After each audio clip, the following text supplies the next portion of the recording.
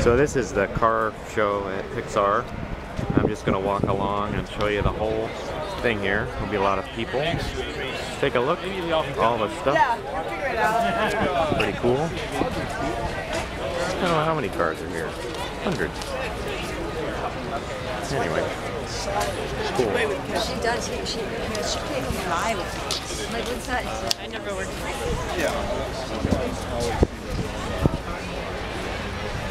That's what I would have, probably. That truck. Look at this. And then, of course, the old reliable 71, I believe. Malibu. Yeah, Nova. Something. I don't know.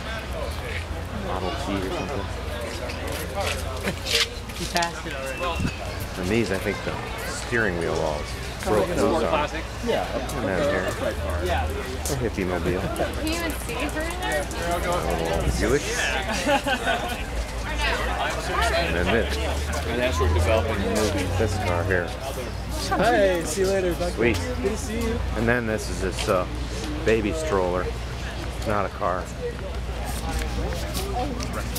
There must be a million dollars of cars there. What a great place for a heist and an action movie with lots of sound effects. Oh.